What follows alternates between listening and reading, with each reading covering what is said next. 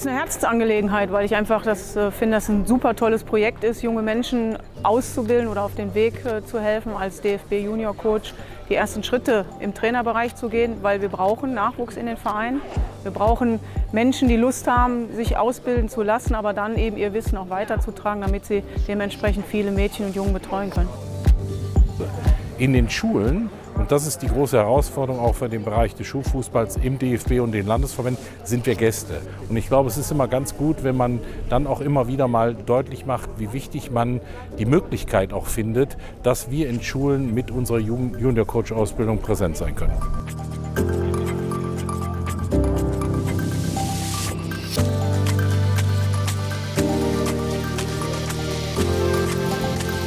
Ich, erstmal habe ich gefragt, ob sie noch aktiv spielen. Das tun sie alle drei. Ich glaube, das bedingt es auch. Und wo sie dann gegebenenfalls auch hinwollen. Aber vor allen Dingen gebe ich den jungen Menschen den Hinweis, dass sie erstmal ihre, ihre, eigenen, ihre eigene Leidenschaft, ihren Spaß, ihre Freude mit auf den Platz nehmen.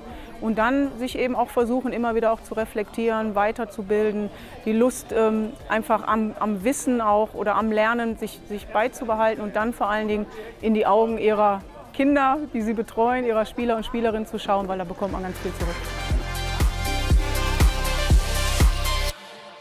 Ich glaube, da sind wir uns alle einig, dass wir äh, insgesamt natürlich für die Förderung des Ehrenamts gerade im Jugendbereich eine ganze Menge tun müssen. Aber wenn wir auf die Mannschaftszahlen gucken, muss man auch so ehrlich sein, dass man Schwerpunkte entwickeln muss. Und für mich ist ein ganz wichtiger Schwerpunkt zu versuchen, die Anzahl der Fußballspielenden Mädchen, ob in Mädchenmannschaften oder gemeinsam mit Jungen, ein Stück weit äh, zu fördern. Und da können gerade jung ausgebildete Trainerinnen und Trainer mit der Junior-Coach-Ausbildung auch sicherlich in ihren Vereinen helfen. Ja, ich hoffe was Positives. Das ist ja ähm, so eben auch mein Anspruch, weil ich wirklich davon überzeugt bin, dass wir den Nachwuchs brauchen, damit wir auch wieder Mädchen und Jungen in den Vereinen betreuen können, weil da fehlt es ja ganz oft einfach an der Manpower. Und von daher freue ich mich. Ich, ich finde das total toll, mich auch mit den jungen Menschen hier auszutauschen. Davon profitiere ich ja dann auch und zu hören, was ist eigentlich ihre Intention, warum haben sie das gemacht.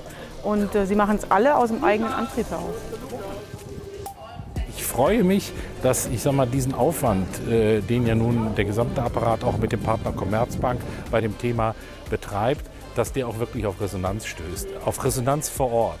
Also ich glaube, wenn man die Maßnahmen aufzählt, wo wirkt der DFB gemeinsam mit seinen Landesverbänden unmittelbar an der Basis, dann ist sicherlich der Junior Coach und die Junior Coach Ausbildung ein ganz zentraler Punkt, denn hier helfen wir mit den Dingen, die wir aufwenden, sowohl an Ressourcen im personellen wie auch im finanziellen Bereich, helfen wir ganz konkret äh, auch den Vereinen und hier sind ja auch Vereinsvertreter gewesen, die sich jetzt mit äh, unseren jungen Trainerinnen und Trainern unterhalten, um sie, soweit noch nicht erfolgt, in die Vereinsarbeit einzubinden. Junge Menschen darin zu bestärken, versuchen, ihren eigenen Weg zu gehen, selbstbewusst zu sein und ähm, eben auch hier eine hohe Sozialkompetenz zu spüren, weil es ist nicht selbstverständlich, dass diese jungen Menschen sich ehrenamtlich hier ähm, bewegen und engagieren. Und von daher Kompliment und Respekt.